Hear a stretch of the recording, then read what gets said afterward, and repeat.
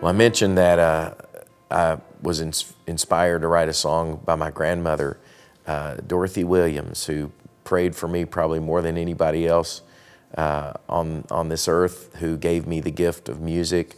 I think uh, in many ways, uh, my dad, but that came through his, uh, through him from by way of my grandmother, and um, she lived to be 99 years old. We thought she was going to make it to 100, but I did get to be with her, and it was a real gift um, to get to be with her and say goodbye. Um, not when she drew her last breath, but when she was within her last few hours. My brother and I drove from Nashville back to my hometown of Paducah, and I sat with my dad, with my brother, and with my grandmother, and we held hands and we prayed.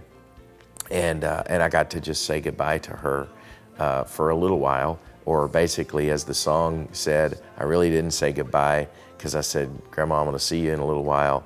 And I was able to whisper uh, some messages to her that I wanted her to, to take to our little girl that I knew she was getting ready to see, Maria.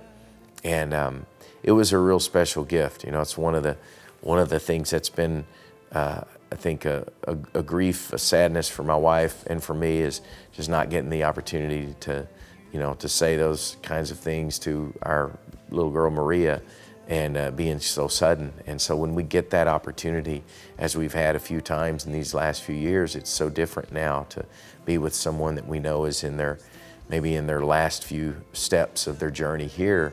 Um, it's been real special for us, and I really wanted to honor that. I think, and and uh, and honor that sadness, but the hope that was in that sadness with my grandmother in this song, and uh, and hopefully give that song to others that are walking through that that valley of the shadow of death, which is just a shadow, it's an illusion, um, but it's still a very real place that we walk. And, and maybe this song would give them uh, the same encouragement and the hope that I felt in those moments with my grandmother.